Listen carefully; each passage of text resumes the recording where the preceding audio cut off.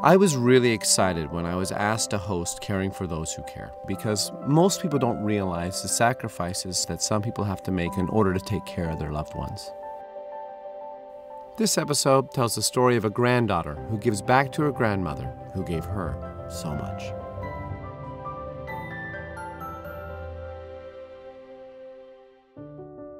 My name is Leah.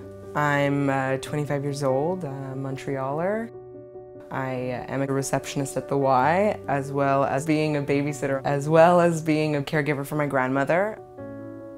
I'm not really sure how I became a caregiver, it just kind of happened. I kind of see it like a pendulum where you see the reality of the situation just coming forward and then you just embrace it.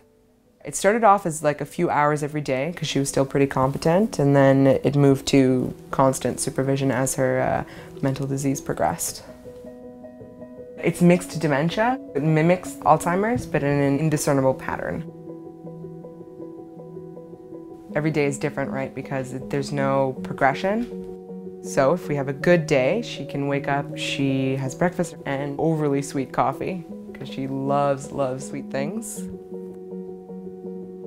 From there, we try to get her up. Then we take her to the park with the two dogs. She likes to sit and watch the kids play. She could sit there for an hour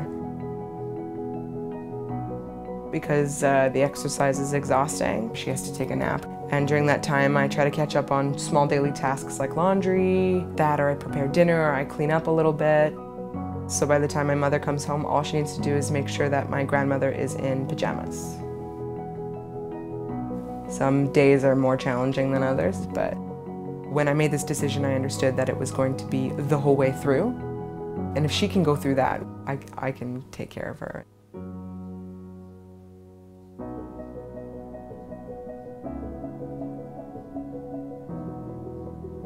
My outlook on life has changed a lot to just the kind of legacy that you want to leave behind, right? Uh, if you look at my grandmother's legacy, she was the best grandmother you could ever ask for.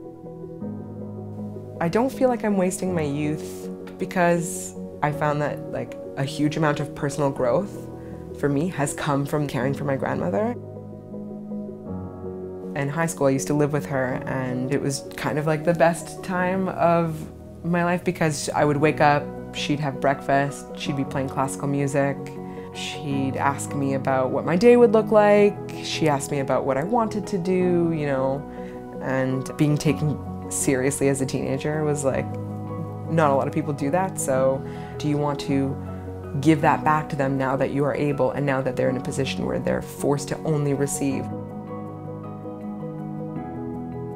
I remember the first time I went to the ballet ever with my grandmother. So we all just we get in the car and she's so excited and I just remember her sitting there and just like memories flooding back. She remembered all of the composition, she remembered the play. She would tell me about painters. I have we have all these like picture books. When I told her that I was going into painting and drawing, she was really excited for me. I mean, not all days are, you know, super positive. Some days you're feeling like, why am I doing this? This is so frustrating. But uh, I, I, do a little thing when I get home sometimes on, on, the really bad days where I write a letter to my grandma. So I have like little cue cards with like, dear meme, and then today sucked. Or today was pretty good. Can, I feel like that communication is back in a weird way. Because that's what you gotta remember at the end of the day, like who they are. Like it sucks all these parts of a puzzle that look ugly and like muddy and brown. But then you got to remember that she's the picture, she's the whole thing. The muddy parts and the flowery bits and the sunny sky. And sometimes it's hard to, to not look at just the crappy puzzle piece. Take a step back and remember like you're in a bad moment, but you have to not let the bad ones outweigh the good ones. And uh, there were so many good moments. As a thank you to Leah for sharing her story, we got her and her grandmother annual tickets to the ballet. A passion they share that brings them together.